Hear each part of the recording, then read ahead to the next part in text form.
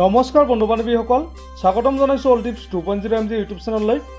বন্ধুসকল আজিৰ ভিডিঅ'টোত মই কঁকালৰ বিষ বা বেক পেইনৰ বিষয়ে আলোচনা কৰিম। বেক পেইন কিয় হয় কেনেদৰে নিৰাময় কৰিব পাৰোঁ আদিৰ বিষয়ে বিতংভাৱে আলোচনা কৰিম।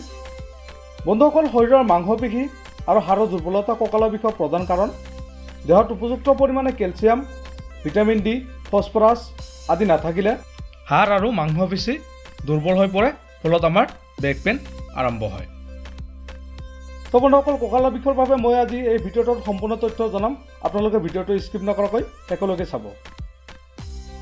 বন্ধুসকল কেতিয়াবা দেখা যায় যে গধুৰ বস্তু বা অত্যাধিক পৰিমাণে আপোনাৰ শ্ৰম কৰাৰ ফলত এনেধৰণৰ ৰোগ হ'ব পাৰে যেনেকৈ অতিৰিক্ত ব্যায়াম কৰাৰ ফলত অত্যাধিক কষ্ট কৰাৰ ফলত আপোনাৰ এনেকুৱা ধৰণৰ বেক পেইন হ'ব পাৰে।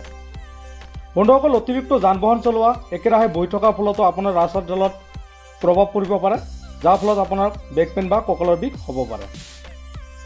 কোনো স্থানত একেৰাহে থিয় দি থাকিলে বা লৰচৰ নকৰিলে এনেকুৱা অৱস্থাত আপোনাৰ বেক পেইন হ'ব পাৰে।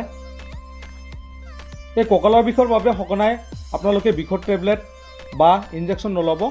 ইয়াৰ পৰিৱৰ্তে আপোনাৰ ক্ষতি হ'ব পাৰে। তো বন্ধুসকল এই বিষটো সাধাৰণতে পুৰুষ আৰু মহিলা দুয়োৰে হ'ব পাৰে। যদি এনেকুৱা ধৰণৰ প্ৰব্লেমে দেখা দিছে তেন্তে আপোনালোকে ডক্টৰৰ পৰামৰ্শ লওক আৰু ফিজিঅ'থেৰাপি চিকিৎসা লৈ আপোনালোকে এই বিষৰ পৰা আৰাম পাব পাৰে। বন্ধুসকল কঁকাল বা পিঠি বিষৰ বাবে মোৰ ইয়াৰ মূল চিকিৎসা হ'ল মালিচ। মালিচৰ ফলত দেহত আপোনাৰ ৰক্ত সঞ্চালন বেছি হয় আৰু বিষ বেদনাৰ পৰা আপোনাৰ উপশম পোৱা যায়। তো বন্ধুসকল আজি ভিডিঅ'টো ইমান আছিল। যদি ভিডিঅ'টো ভাল লাগে প্লিজ লাইক কৰিব।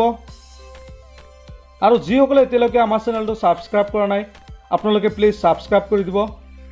আৰু কিবা জানিবলগীয়া থাকিলে আপোনালোকে কমেণ্ট কৰি জনাব। ধন্যবাদ।